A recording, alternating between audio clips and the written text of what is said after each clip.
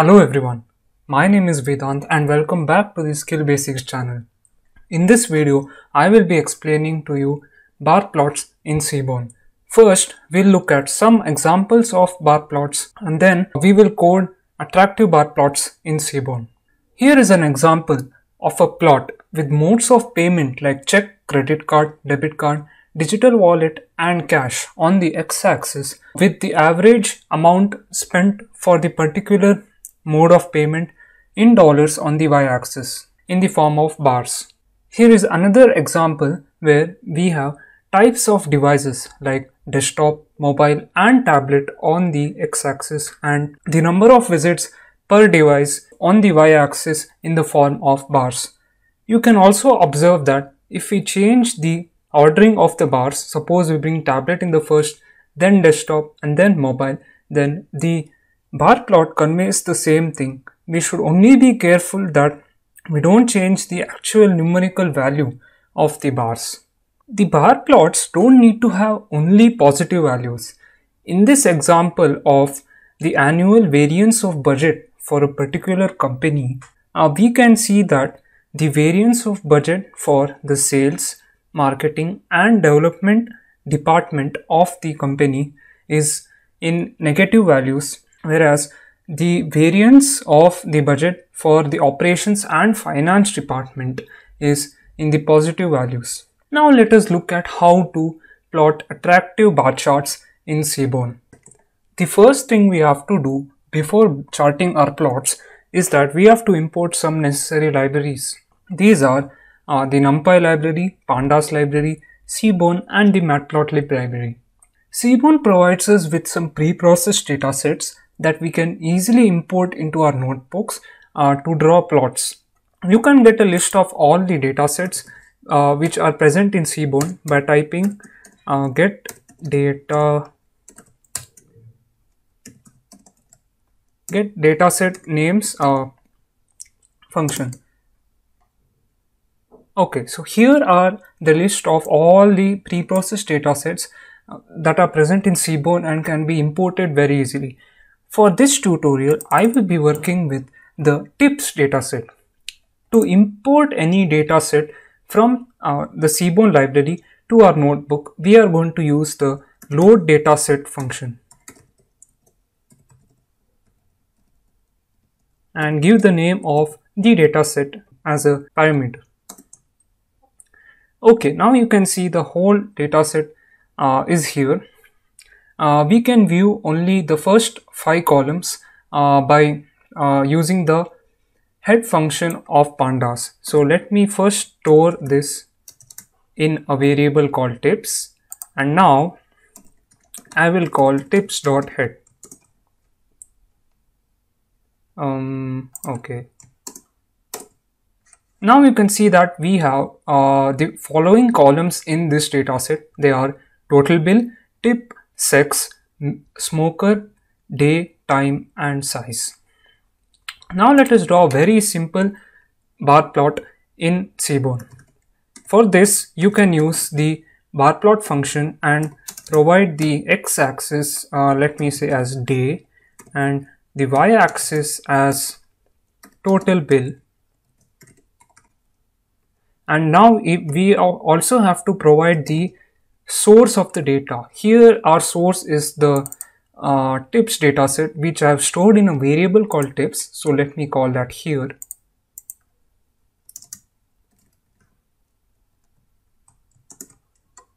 okay now you can see that we have successfully plotted our first bar chart in Seaborn. Uh, this bar chart has uh, the days on the x-axis and the total bill value on the y-axis. Do not worry about these black bars which are present on the bars. I will be explaining about these bars in the next video. Now let us look at one of the most important attributes uh, for bar plots in Seaborn that is the hue attribute. Hue attribute splits the bars based on the different types of values that are present in a particular column. Let me show you with an example. So let me copy this first and I will provide the hue as uh, let's say the sex column here. Okay now you can see that each bar has been divided into two separate bars. Why is this happening? Let us go back to our data set and here we can see that the sex column has two types of values. One is female and the other is male that is the reason that each bar gets divided into two separate bars which is for one is for males and the other is for females this way we will get more insight about our data now let us look at how to import inbuilt palettes from Seaborn and later we'll also see how to use our own custom palettes in Seaborn. So let us view some palettes. So you can do this by using sns uh, color palette function and now let me give some name as deep.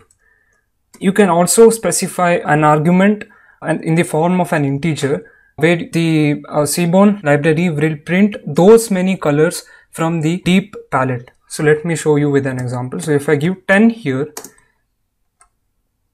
okay, I made a mistake here, okay.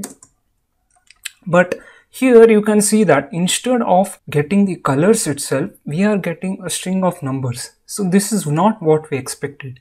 To fix this, uh, we should even add a palplot function here. So let me do that. We have to surround the sns dot color palette function uh, with the palplot function and then when I execute you can see that we get 10 different colors that are present in the deep palette. If we change this to say 5 then we'll get 5 different colors which are present in the deep palette. There are different types of palette in Seaborn. One is deep, light, winter and spring. I will put a link in the description below uh, which gives a list of all the palettes that are available in Seaborn to check it out. Uh, let me give you an another example fast. So if we give something like, uh, let's say spring palette, specify we want six colors. So we get six different colors uh, from the spring palette. Now we'll look at how to create our own custom palettes in Seaborn.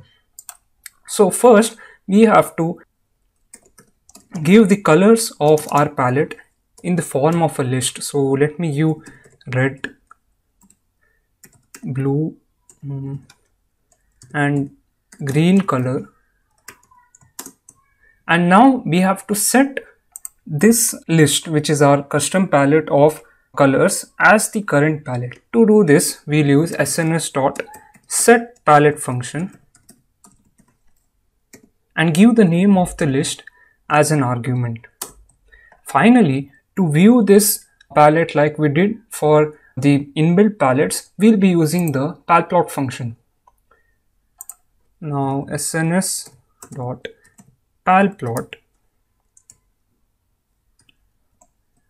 and let's give sns dot color palette. Now if we execute. Okay there's a mistake here. Okay now it should work fine. Okay. Now you see that we get a custom palette of our own with the colors that I have mentioned in the list. You can not only draw vertical bar plots in Seaborn, but you can also plot horizontal ones. Let me show you with an example. So let me copy this, paste it here. I will give the uh, x-axis as the total bill and the y-axis as the day. Let me remove the hue here.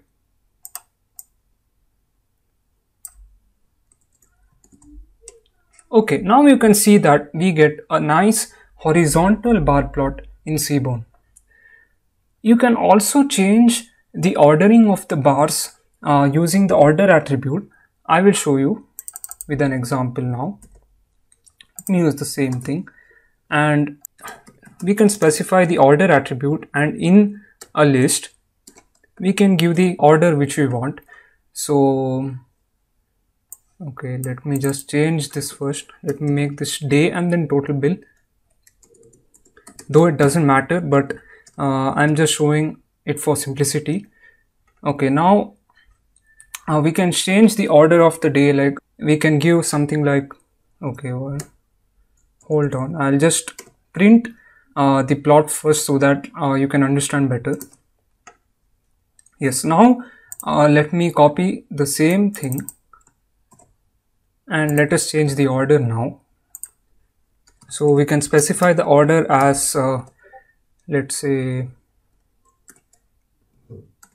we want Sunday to come first. So let's specify Sunday then we'll specify Friday. And uh, then you can specify Thursday. And in the end uh, Saturday is what is left out. A comma and now you can see that uh, the ordering of the bars is changed. So Sunday comes first then comes Friday Thursday and then Saturday. But remember that the numerical values of the bars does not change. This was all there for this video. In the next video we will continue our discussion with uh, bar plots. I will show you some other things that you can do to customize your bar plots. Now comes the most interesting part of this tutorial which is the exercises. I have this exercise link in the description box below and I request you to please solve the exercise, the questions on your own for about 1 to 2 hours before checking the solutions. Exercise and practice is the only way to get better at data visualization. I've also the uh, link for the uh, notebook that I used in this tutorial in the description box. If you have any queries or doubts regarding the content or if you have problems regarding the audio or video quality of this video, please comment down below and I'll uh, respond to them as soon as possible. In the next video, we will be discussing more about bar plots in Seaborn and how to customize them to make our charts look more beautiful and nice.